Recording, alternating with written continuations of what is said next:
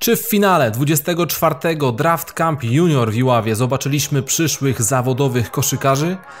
Wróćcie tu za kilka lat i sami sprawdźcie. Póki co, oto skrót pojedynku Los Angeles vs Golden State. Spotkanie właśnie tych dwóch drużyn w finale nie było wielkim zaskoczeniem.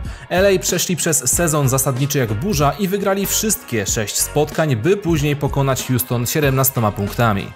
Golden State zajęli drugie miejsce w sezonie, przegrywając dwa mecze, ale w półfinale bezproblemowo ograli drużynę Oklahomy, którym trzeba oddać jednak tyle, że byli osłabieni kontuzjami. Los Angeles, prowadzeni przez niezaprzeczalnie najlepszego zawodnika kampu Filipa Porackiego, byli obstawiani jako pewniak do tytułu. Przebieg tego spotkania jednak nie dawał nam tej stuprocentowej pewności. Mieliśmy do czynienia z bardzo wyrównanym meczem, do którego drużyna Golden State prowadzona przez Janka Śliwińskiego i Wojciecha Milewskiego podeszła bardzo ambitnie. Los Angeles zdobyli największe prowadzenie pod koniec pierwszej kwarty, ale było to zaledwie 8 punktów. Różnica ta szybko została zniwelowana już w drugiej kwarcie, a nawet powiem więcej, Golden State w pewnym momencie wyszli na 3-punktowe prowadzenie. I ten fragment spotkania to w zasadzie był kosz za kosz. Aleksander Idziak ładny stepback zrobił przestrzeń, trafił, ale w następnej akcji otrzymuje czapę od Karola Koniora i Filip Poracki. Efektowny Eurostep. Obrońca dał się nabrać, mamy dwa punkty. Po drugiej stronie boiska bliźniacza akcja, ale Janek Śliwiński tego nie trafia, jednakże Wojtek Milewski znajdował się na posterunku. Sami zobaczcie jak to wygląda, to jest gra kosz za kosz, Olaf Jas trafia, a po drugiej stronie Janek Śliwiński wchodzi między dwóch obrońców i również trafia. Efektowne wejście i mamy kolejny remis. I zakończenie pierwszej połowy, efektowny crossover Filipa Porackiego, jeszcze tutaj zrobił Eurostep pod koniec. Początek trzeciej kwarty i mamy już remis po rzucie Janka Śliwińskiego i po drugiej stronie Filip Puracki ponownie wykonuje crossover, wchodzi pod kosz i zdobywa te punkty i w następnej akcji ponownie wchodzi między dwóch obrońców. Filip Poracki w całym tym meczu miał 32 punkty, dołożył też do tego 6 przechwytów. Janek Śliwiński tym razem nie trafia, Filip go zablokował, ale w tej akcji no, mamy tutaj fizyczne granie i bankshot wpada. Cały czas mamy remis. Filip korzysta z przestrzeni, jaką dał mu obrońca, trafia rzut za 3 i w następnym posiadaniu omija tego obrońcę i to już mamy 5 punktów z rzędu.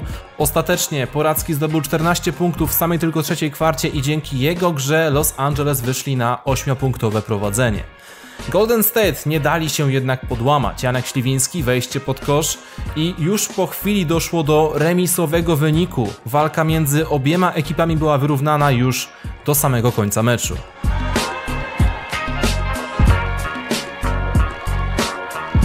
Ale Jup do Oli Stasiejowicz. Nie mówcie, że to nie był Alejup. Ważne są punkty. 48 do 45.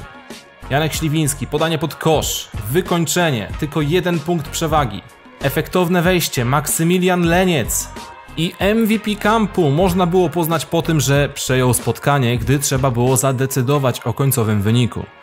Filip Poracki ponownie zdobył ostatnie 10 punktów swojego zespołu, trafiał kosmiczne rzuty i prowadził swoich jak prawdziwy lider.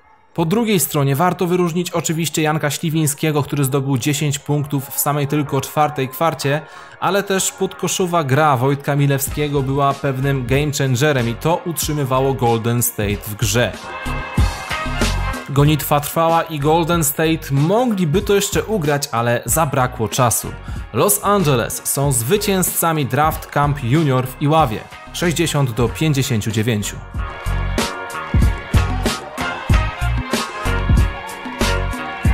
A tutaj już widzimy prawdziwe, szczere emocje. Na tym polega koszykówka. Tak właśnie wygląda Draft Camp. Czas na wyróżnienia, czas na najlepszych zawodników Draft Camp Junior w Iławie.